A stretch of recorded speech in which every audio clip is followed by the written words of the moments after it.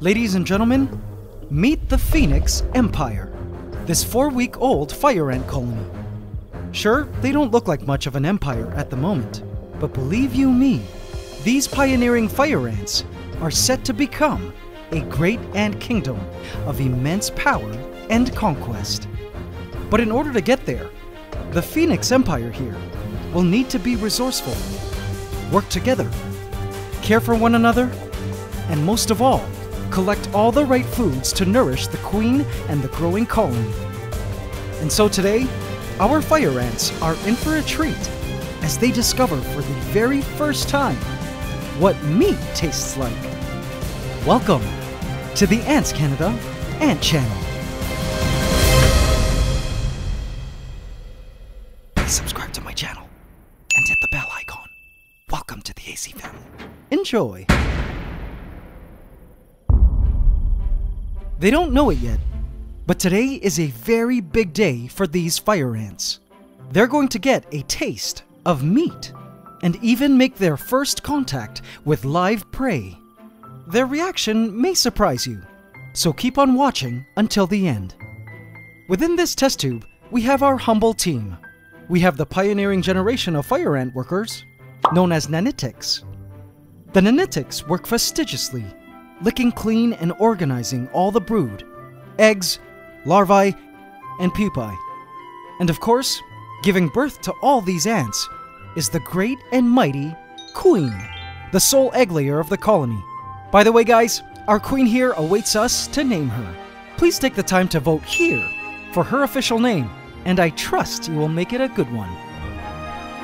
Thank you, AC Council, for your input. Now, guys, look at how amazing this queen is. Even with workers all around her, she still takes it upon herself to do her part at helping raise the young.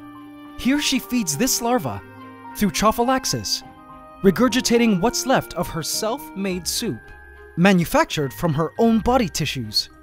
It's kind of like ant breast milk. But she's definitely running dry on it now, as it pretty much substantiated this entire colony into being.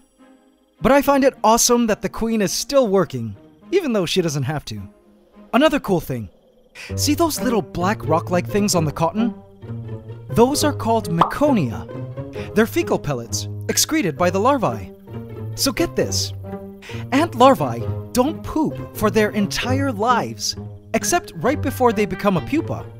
From birth, a larva's food waste collects inside the larva's body, creating a pellet, a meconium, which is excreted right before pupation as a neat, compact, slow to mold packet of poop. Can you imagine only pooing once as a kid right before teenagehood? And it being so compact that it's rock hard? Welcome to ant infancy. Or should I say, infancy. okay, moving on. Now, the Phoenix Empire here is on a very important mission at this stage. Their goal? To grow the colony as big as possible, as quickly as possible. In nature, only the largest and fastest growing fire ant colonies survive. And to do that, they'll need some serious food collection. Last week, we gave them their very first taste of sweet honey, which the workers gobbled up and distributed to the entire colony through trophallaxis. It was a beautiful moment to witness. Since then, I've been feeding the colony bits of sweet jelly, which you can actually see through the semi-transparent bodies of the larvae. Now, although these sugary foods provide the colony with all the essential energy needed to work hard towards their goals, what these ants are really looking for now is meat. Protein will be the real game changer and help the colony truly explode in population. Protein helps the queen produce more eggs and helps the larvae grow much faster. And so, AC family, it's time to give the ants what they're looking for. Let's give them some prey. Behold, what you see here is what will be the newest addition to their living space. It's an AC test tube portal from our shop at antscanada.com. A very useful piece of equipment for feeding young ant colonies, like the Phoenix Empire. Though it looks complicated, it's basically the Phoenix Empire's new feeding pit. I'll need to plug up three of the four holes. And this last hole will accommodate this test tube adapter with a tiny hole to act as the colony's new nest entrance. Don't worry, you'll understand once we've connected the ants to the setup. And now it's time to move in their dinner. This baby mealworm. It's been pre-crushed to make consumption easier for the ants. And hang on, all of you guys wanting to see the bloodbath of a live mealworm feeding? Don't worry, you'll see what the fire ants do to a living mealworm in a bit. So, pre crushing and splitting the mealworm so its guts spill out increases the chances of the nanitics getting the goods. It isn't recommended feeding a prey item that might injure the nanitics because at this crucial point, every worker matters, and any ants killed during battle hurts the chances of colony success. Okay, so let's unleash the ants. The plan was to remove the cotton blocker from the colony's test tube and attach the test tube end to this test tube adapter. I did this as quickly and carefully as I could. Done. Let's watch.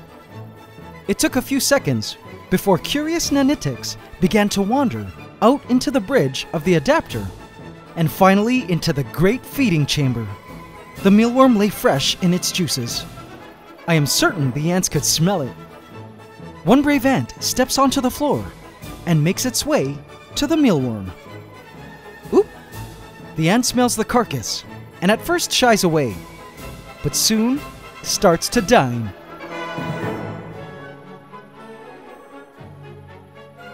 Excited, it makes its way back to the colony, leaving a pheromonal trail, leading the other ants to the mealworm booty. It wasn't long before word spread to the entire colony, and ants were all over the mealworm, chowing down on the delicious mealworm guts. Back in the test tube, the queen and workers were getting excited. I'm sure the queen was eager to have her first taste of that tender mealworm meat. The workers eventually attempted to carry back the entire mealworm to the nest. But they had problems maneuvering the mealworm, so they eventually decided to just leave it there and dine on location. Hey, cut them some slack. They're noobs. Minutes later, the colony had all returned to the nest and were busy distributing all the meat they'd consumed, regurgitating it up for the larvae to eat, which I'm sure they loved. I mean, look at this larva, which continued to swallow well after the worker had fed it. And of course, our Royal Highness, too, was fed by her loving workers. And just like that, the colony had consumed their very first protein meal, which will offer the colony the building blocks they need to explode in population. Several days after this meal, the colony was nursing a brand new, bigger pile of brood. There were more eggs, larvae, and pupae now, thanks to the mealworm meat more workers had been born. It was awesome to see the colony so fruitful and prolific. Now, if you're wondering how the Phoenix Empire would react to a living mealworm, yes, I tried it, but I knew exactly what would happen. The workers cowered away. They were terrified of it and wanted nothing to do with the moving mealworm. Again, these are noobs, and I don't think the aggression, so typical of regular fire ants, has kicked in at this point. I feel once the Phoenix Empire grows in numbers, and this new generation of fire ants, which will be larger and more strongly built due to being better nourished, will start to outnumber and replace the frail and timid nanitics, we'll start to see that savage fire ant aggression we all know and love. Or hate. I truly appreciate that a lot of you guys seem to enjoy watching the evolution and progress of this fire ant colony from its genesis its humble beginnings. I really care about these ants, even if they're not much at the moment. Regardless, it's great that we can watch together as this young fire ant colony rises to become the mighty empire we know they're going to be one day soon.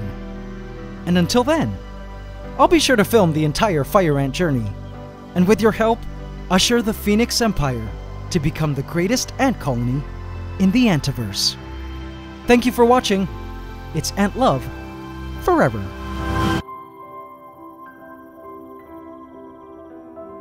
AC family, isn't the Phoenix Empire awesome? I think I laughed when I saw the Nanitics wouldn't dare touch the living mealworm. But knowing fire ants, that behavior is going to change real quick. So much is in store ahead, so if you haven't yet, smash that subscribe button and bell icon now, and hit all so you get notified at every upload, because I believe notifications seem to be broken, but the YouTube support team is on it. Also, don't forget to hit the like button every single time, including now. It would really mean a lot to me. Thank you guys. AC Inner Colony, I have left a hidden cookie for you here. If you would like to watch some extended play footage of the Phoenix Empire chowing down on their mealworm meat. And now it's time for the AC question of the week. Last week we asked, what is the name of the process of mouth-to-mouth food transfer in eusocial insects? Congratulations to Atlas Blue, who correctly answered Trophallaxis. Congratulations, Atlas! You just won a free Ultimate Ant Keeping Handbook from our shop. In this week's AC Question of the Week, we ask, why does an ant colony need protein? Leave your answer in the comments section, and you could also win a free ebook handbook from our shop. Hope you could subscribe to our channel as we upload every Saturday at 8 a.m. Eastern Standard Time. Please remember to like, comment, share, and subscribe if you enjoyed this video to help us keep making more. It's Ant Love forever.